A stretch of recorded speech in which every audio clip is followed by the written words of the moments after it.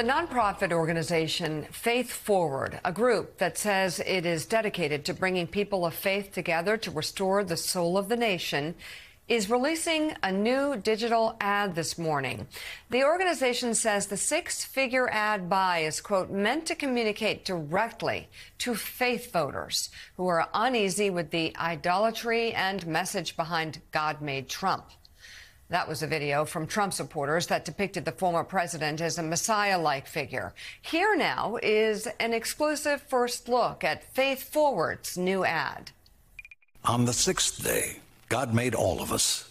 God said we need leaders who can unite rather than divide, who stand on morals and values, and who don't idolize dictators and bullies.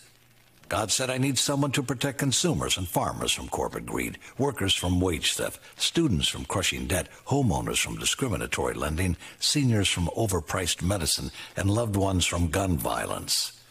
God said, I need someone with arms strong enough to protect the planet, strong enough to fight monstrous evils spreading across the globe. God said, I need someone willing to give their whole life in service. And so President Biden answered the call. God made us all Together, we make our democracy strong. Thank God we chose a faithful president who doesn't worship himself nor undermine the Constitution he swore to uphold. For such a time as this, we pray to God what is true in our hearts. Four more years.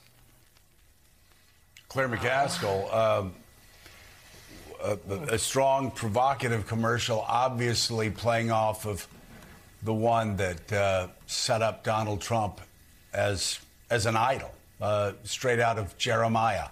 Um, what's your thought on that ad?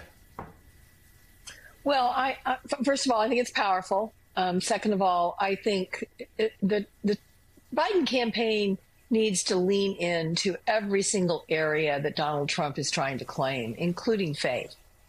The contrast between these two men and how they live their life according to faith couldn't be more bizarre and different. Uh, Donald Trump clearly is uncomfortable with the contours of Christianity. He's never lived it. He's he's never um, he's never looked at God's commandments or Jesus's teachings as instructive to him. He said that he didn't need to ask for forgiveness for anything. I mean, how can you claim to be a Christian and say you don't need to be forgiven for anything? It is so unbelievably bizarre.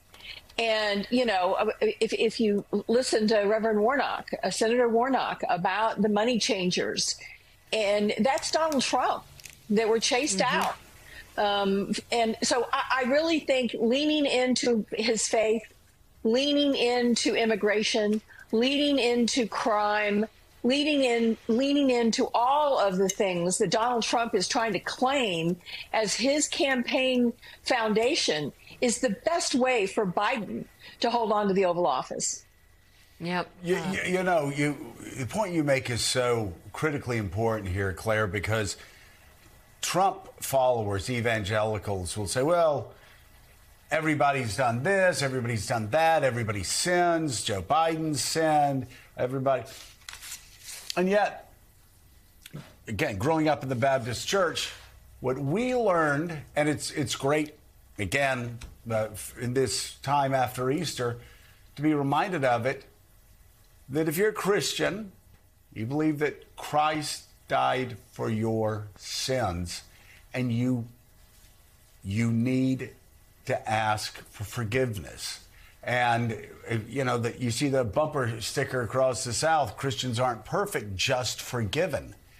That's, that is the central core belief of evangelical Christianity. I, I can't speak for other, other uh, uh, parts of Christianity. I think it's the same. But for evangelicals, it's always been ask for forgiveness. That's always at the call after you know, you go through 20 verses of just as I am.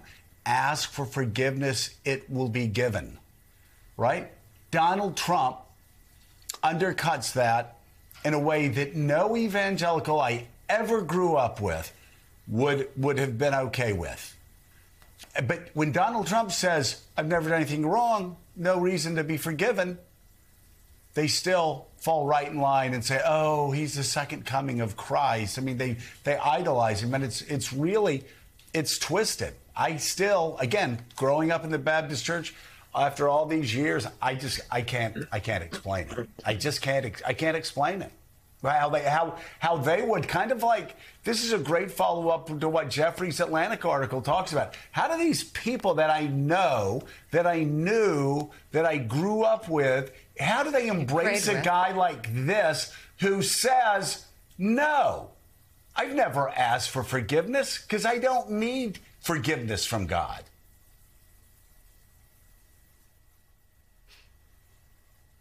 Yeah. Claire? It's unbelievable. Well, it's unbelievable. I, I'm, I'm, I'm, I'm quiet because I wanted to let it sink in. Um, it, it, forget all the excuses that these evangelical ministers are using. You know, oh, the Supreme Court, and oh, you know, restricting abortion, and oh, he's he's not going to let people use the wrong bathroom. Forget all of that. This is a man who said out loud that he did not need forgiveness. Now, I don't know of any priest or pastor or minister in the Christian faith that would let that go and not grab onto it and say, wait, wait, wait, wait, wait, wait, wait. You need to understand the most fundamental part of Christianity, the most fundamental part. And I, I, for the life of me, I mean, you know, look, overlook the adultery, overlook the sexual assault, overlook all of that if you want. But how can he not ask for forgiveness for any of it? For any of it. That's really just mm. astounding and something that, uh, and by the way, Biden is quick to point to his faith. And by the way, Biden goes to Mass. Biden knows the scriptures. Biden, he's, he's not a perfect Catholic by any means. He's not a, none of us are perfect Christians, but he understands his faith, and his faith is fundamental to who he is. This is something that the Biden campaign should lean into, especially on topics like immigration. What would Jesus think of a guy who said that these people who are desperate at our borders, desperate that they should, they're vermin and they are not people? I mean, Jesus would be a, a, appalled at that. Jesus would speak out on that.